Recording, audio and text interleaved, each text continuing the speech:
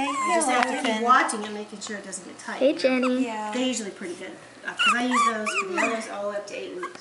Okay, And when they, when the owners came to pick them up, then I made sure I cut it off, because I want to make sure they didn't forget to cut it off, you know what I mean? Yeah, yeah. So, so I marked everybody, it was, I color coded the, the puppies is what I did. Mommy. Oh, so cute. Little sibling. Nancy, you be good to your babies. You be good. They know where to find their milk, I can tell you that.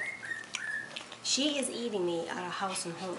This one? Oh, She needs all the calories she yeah, can get. she, um, in the middle of the mor, in the middle of the night, All them like, like butts. two o'clock in the morning, she'll come up to me in the bed, and she'll go like this, Uh huh. and I know what that means. She wants. She's hungry. And I'll, and I'll always leave dry food for her. Blood sugar is low here. You know, last time I almost lost her because her potassium got so low that she almost had a heart attack. How do you know when that happens? Well, she she pants a lot anyway. That's kind of her nature. But she wasn't only panting; she was shaking. oh my. So I took her to the ER. There's an ER right, right over here. Yeah.